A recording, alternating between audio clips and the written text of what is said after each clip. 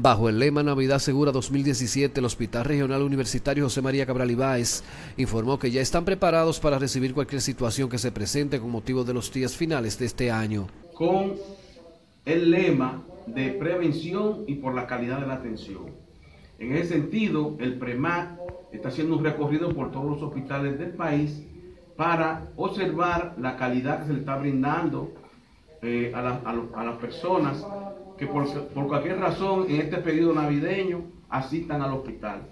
La jornada que busca reducir o mitigar los accidentes con motivo de las celebraciones de Navidad y Año Nuevo se inició el pasado 18 del corriente mes y abarcará hasta el 5 de enero del 2018. Manuel Acevedo, Cibao Visión.